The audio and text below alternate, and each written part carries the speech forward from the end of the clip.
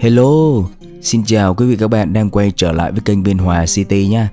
Hiện tại bây giờ Phú đang có mặt tại hẻm đi vào bên trong nhà thờ giáo sứ Xuân Hòa thuộc hạt Tân Mai, thành phố Biên Hòa. Hôm nay Phú đưa quý vị các bạn vào một quán bún bò tên là Thanh Ngân hay còn gọi là quán Kim Loan cũ. Hôm nay đang lang thang khu vực chỗ này. Nhìn thấy quán bún bò cho nên là Phú đi vào trong này ăn luôn. Tiện thể quay lại video này chia sẻ quý vị. Nếu quý vị có ở khu vực chỗ này quý vị có thể ghé quán bún bò Thanh Ngân để ăn và trải nghiệm quý vị nhé. Bây giờ Phú sẽ đi vào bên trong quay lại một số cái quan cảnh bên trong này để quý vị coi. Thì uh, Phú nhận thấy quán bún bò này có không gian rất là thoáng mát và sạch sẽ giống như kiểu quán gia đình. Đây là cái bảng thực đơn cũng như là giá bán. Quý vị có thể tham khảo để ăn nhé. Bên trong quán người ta có bố trí một cái không gian như thế này. Nhìn nó rất là thoáng đãng và mát mẻ quý vị. Phía bên tường người ta có trang trí những cái chậu cảnh thế này. Và đây là một số cái hình ảnh bên trong không gian quán. Phú quay quý vị coi. Không gian rất là rộng rãi ha quý vị ha. Đây là cái bàn phu ngồi này Và những cái loại uh, gia vị ở trên bàn có đầy đủ hết. Các loại gia vị quý vị có thể thêm vào khi mà quý vị ăn những cái món ăn ở đây ha. Người ta lấy cho phú một dĩa rau muống trẻ rất là nhiều luôn để ăn bún bò. Đó quý vị thấy dĩa rau có hấp dẫn không nào?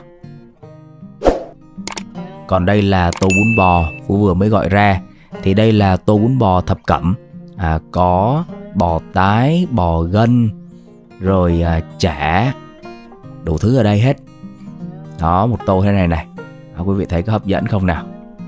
Tô này có giá là 40 ngàn quý vị ha. À, Tô thường thì chỉ có 35 ngàn thôi. Đó có bò tái này quý vị. À, Chả này.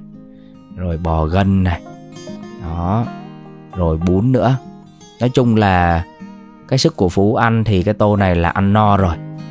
À, Còn nếu mà ai mà ăn nhiều Thì có thể là tô này vẫn chưa áp phê quý vị nhé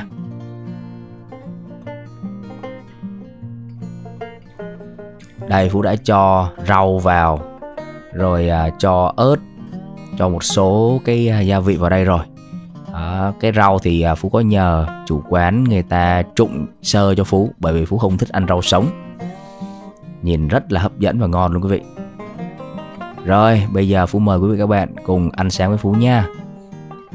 Thì à, theo như phú đánh giá bún bò ở đây ăn cũng khá là ok quý vị cũng không phải là quá ngon cũng không phải là quá dở.